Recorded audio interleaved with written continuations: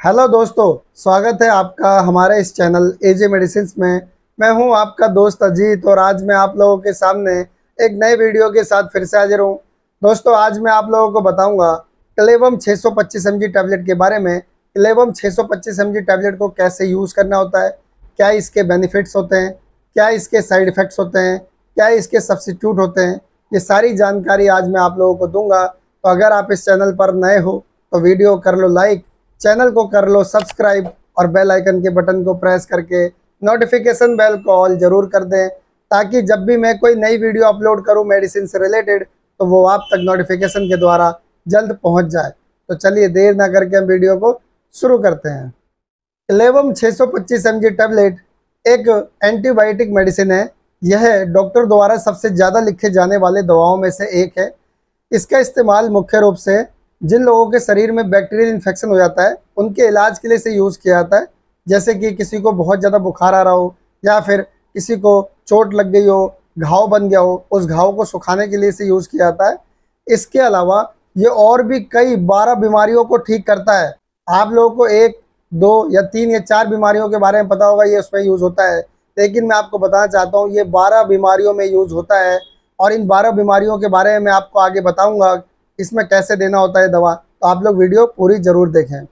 उससे पहले मैं आपको दिखाता हूँ इसकी पैकेजिंग आप स्क्रीन पर देख रहे होगे क्लेवम 625 जी टैबलेट यह एक स्ट्रिप के पैकिंग में आता है और इस एक स्ट्रिप में 10 टैबलेट होती हैं और इस 10 टैबलेट का जो प्राइस है, वो है दो सौ यानी two hundred four rupees only company इसे बनाती है एल्कम लेबोरेटरीज और कॉम्पोजिशन इसके अंदर होता है। इसमें होता है एमोक्सीसिलिन 500 सौ एम जी क्लोविनेट एसिड 125 जी। इन दो दवाओं को मिलाकर इसे तैयार किया गया है।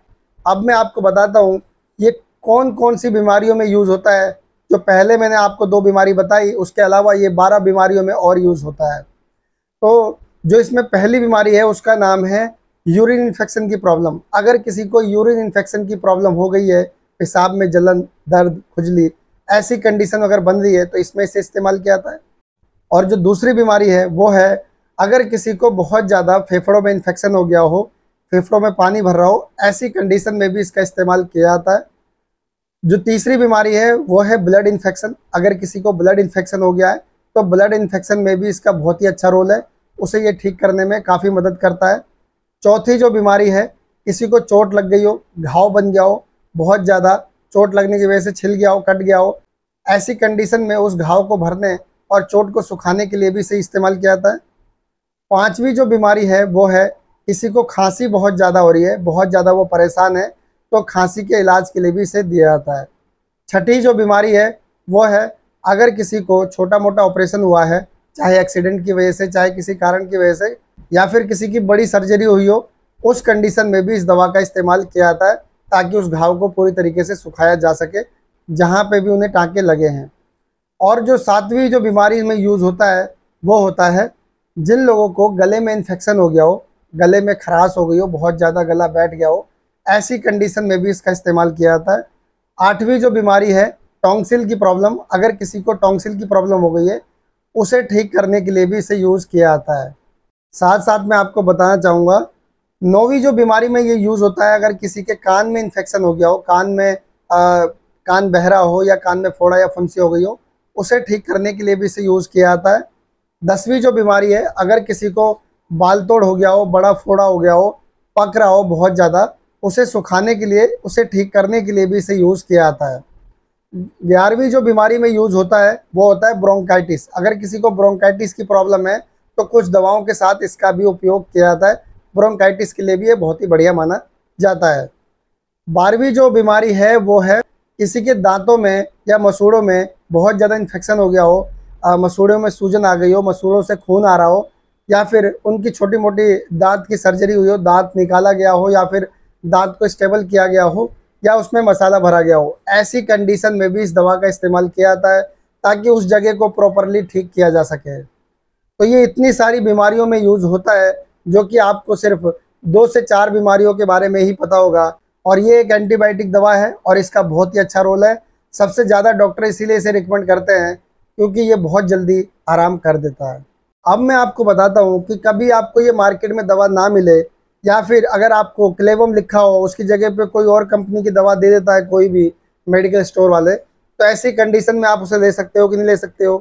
तो मैं आपको बता दूँ, आपको क्लेवम की जगह पे ऑगोमेंटिन 625 सौ टैबलेट मिलती है तो आप उसे यूज़ कर सकते हो। वो जीएसके कंपनी बनाती है, बहुत ही बढ़िया कंपनी है। और जो दूसरी दवा है, वो है एमोक्सिक्लेव 625 सौ पच्चीस एम टैबलेट जैसा कि आप स्क्रीन पे भी देख पा रहे होगे। तो आप वो भी ले सकते हो, कोई दिक्कत वाली बात नहीं, अगर वो बदल के दिया हुआ है तो। और जो तीसरी दवा इसमें आप इस्तेमाल कर सकते हो, वो दवा है नोवा क्लेव छः सौ पच्चीस एम टैबलेट ये भी बहुत ही अच्छी दवा है, ये भी आपको मार्केट में आसानी से मिल जाएगी, जैसा कि आप स्क्रीन पर देख पा रहे होगे। तो ये तीनों दवा अगर आपको मिलता है तो बेस्ट है। अगर इन तीनों में से ना मिले तो आप उस दवा को चेंज कर दें। आप बोले जो लिखा हुआ है, वही हमें दवा दे। अब मैं आपको बताता हूँ, इस दवा को लेना कैसे होता है? किन किन बीमारियों में कैसे यूज़ होगा? यह हर तरह की बीमारी में एक ही तरह से यूज़ होता है, वो मैं आपको बताता हूँ।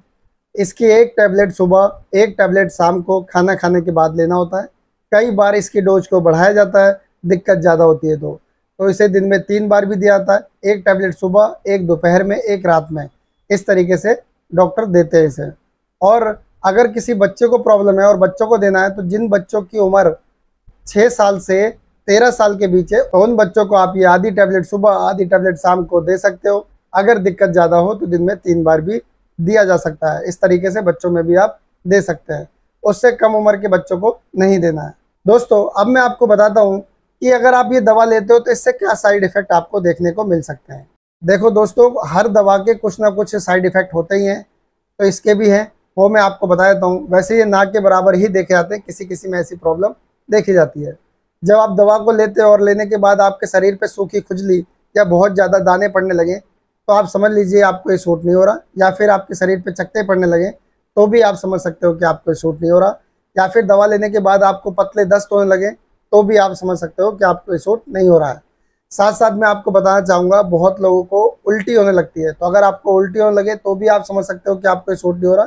या फिर आपको चक्कर आने लगे, तब भी आप समझ सकते हो कि आपको सूट नहीं हो रहा है।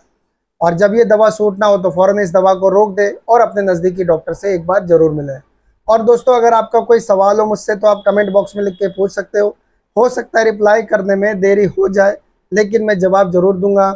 आप चाहो तो मुझे इंस्टाग्राम पे भी फॉलो करके मैसेज कर सकते हो। इंस्टाग्राम आईडी का भी लिंक आपको वीडियो के डिस्क्रिप्शन बॉक्स में नीचे मिल जाएगा। उस पर आप क्लिक करके मुझे डायरेक्ट मैसेज कर सकते हो। और कोई भी दवा यूज़ करने से पहले आप अपने नज़दीकी डॉक्टर की एक बार सलाह ज़रूर लीजिए। आई होप कि आपको ये वीडियो पसंद आई होगी। तो आज के लिए इतना ही। कल फिर मिलूँगा एक नई वीडियो में एक नई जानकारी के साथ। तब तक के लिए मुझे इजाज़त दीजिए। Good bye